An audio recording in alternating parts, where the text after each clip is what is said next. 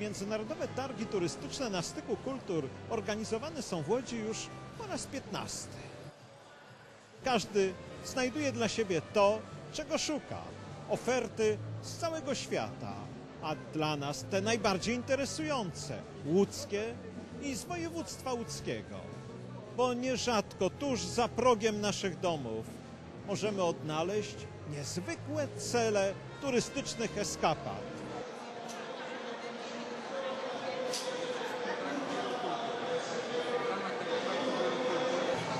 Jak dlouho se tam ta soutěží? 60 lat. E, Witam w Piotrkowie Trybunalskim. W Starym Grodzie w najbliższym czasie będziemy obchodzili 800 lat, ale w tym 800-leciu bardzo ważna jest historia 100 lat e, Piotrkowskiego Muzeum.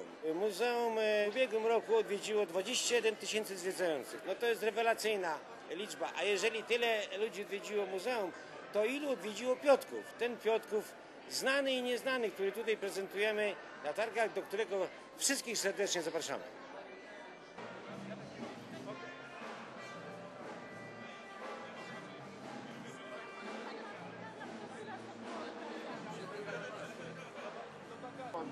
Jest najpiękniejsze, bo jest bardzo, barwne i każdemu się podoba.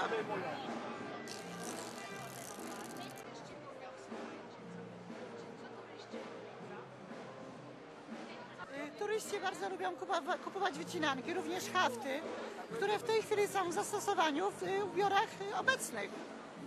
I przede wszystkim y, hafty na chustach, na szalach, na torebkach. To jest najbardziej y, znaczy kupowane przez turystów.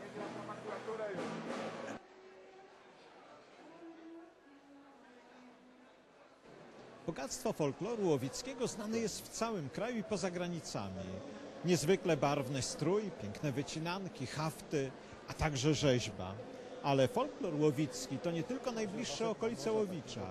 To także chociażby Lipce Rejmontowskie leżące daleko na skraju ziemi książackiej, czyli dawnych włości arcybiskupów gnieźnieńskich.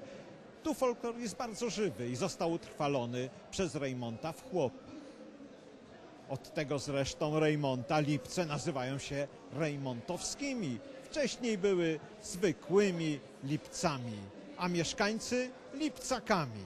I to oni jeszcze dzisiaj w bardzo żywy sposób kultywują tradycje dawnej sztuki łowickiej.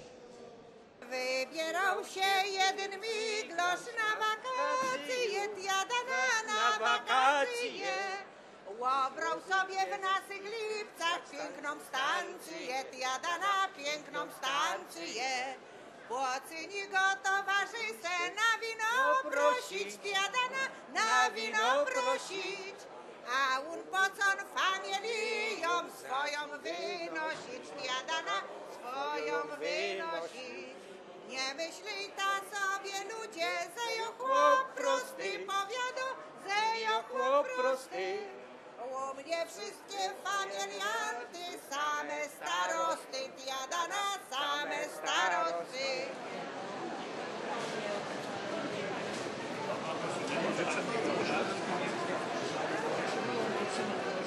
centralny łuk turystyczny. Łuk, który można zakreślić wędrując pomiędzy Krośniewicami, Łęczycą, Świnicami Warckimi, Uniejowem. Można trafić do pięknego zamku w Besiekierach, a także do Grabowa i tu poznać autentycznego króla, króla Palanta.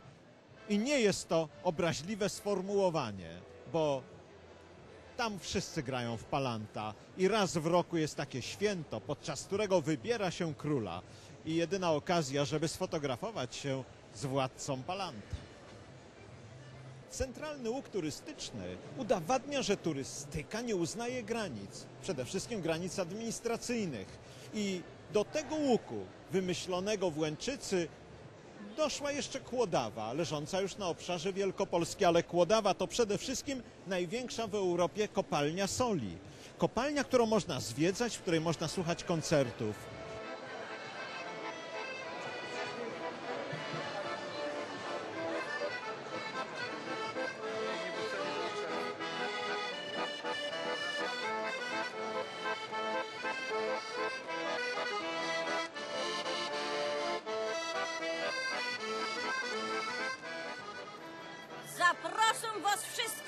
Jak do Opocna. Mówię wam u nas, tam pierogów nie załojimy, bombów nie załojimy, bimberków domy, to się tak najeta, napijeta i jeszcze odpocznieta.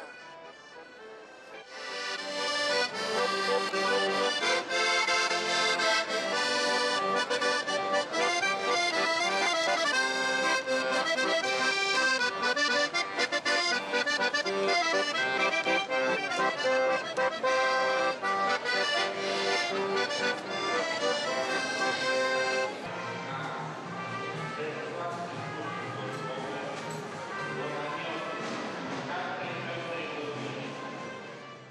tutaj zapniemy pas. Gdzie masz drugi pas? Pokaż.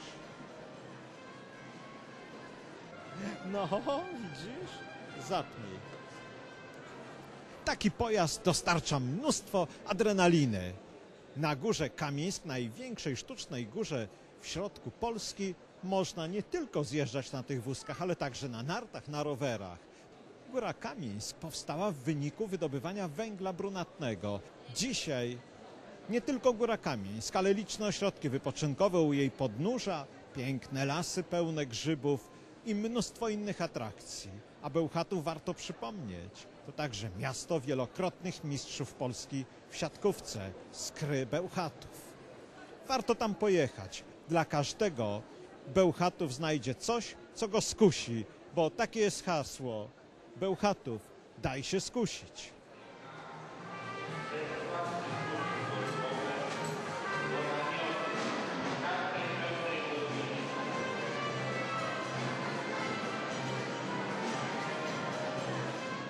I jak co roku na targach turystycznych w Łodzi spotykamy Muzeum Archeologiczne i Etnograficzne. Zatytułowaliśmy tutaj nasze stoisko Obrazy wsi. Obrazy wsi w tkaninie i w rzeźbie ludowej.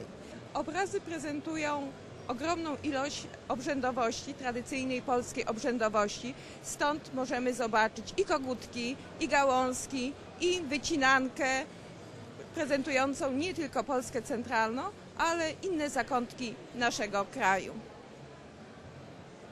Fenomenem twórczości Polski Środkowej, twórczości nieprofesjonalnej jest rzeźba, rzeźba regionu czy też województwa łódzkiego. Przykładem niech będzie twórczość rzeźbiarzy Łęczyckiego, a dokładnie Henryka Adamczyka.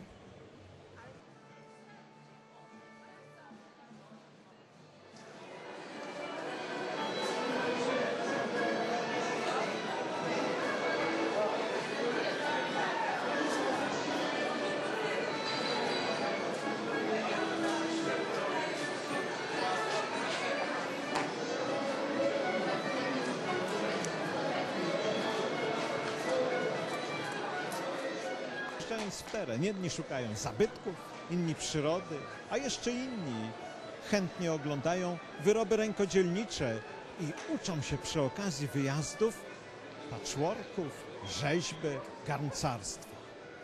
Ale do serca turysty można także trafić przez żołądek. I w województwie łódzkim wiedzą o tym najlepiej. Tu są produkowane najlepsze w Polsce wyroby oparte na naturalnych składnikach. I targi turystyczne gromadzą zwykle stoiska tych, którzy najlepiej dbają o żołądki turystów.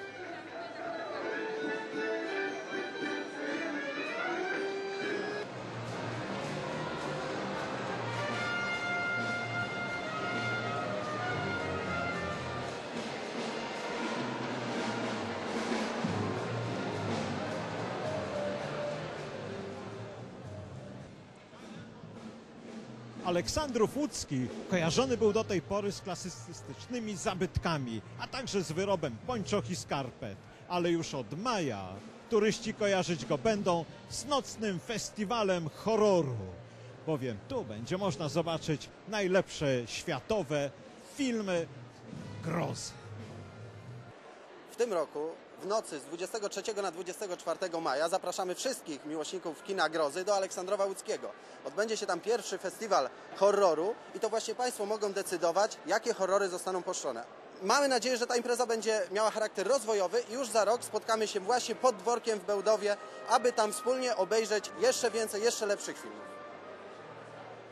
Te targi są najbarwniejszą imprezą w Łodzi. One pachną, je się czuje, odbiera się wszystkimi zmysłami. Warto tu przyjść, przeżyć. Cudze chwalicie, swego nie znacie. Odkrywamy region, fantastyczne zabytki, fantastyczne atrakcje turystyczne. Trzeba przyjść, przeżyć i zobaczyć. Warto odwiedzać targi, zaglądając do stoisk gmin, powiatów i województw.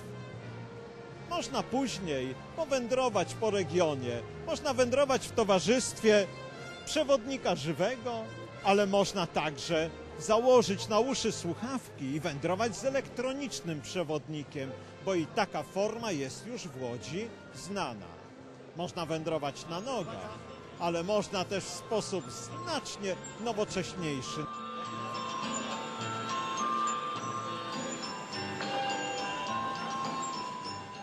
Już wiosną na takich pojazdach będzie można zwiedzać Łódź i niektóre miasta województwa łódzkiego.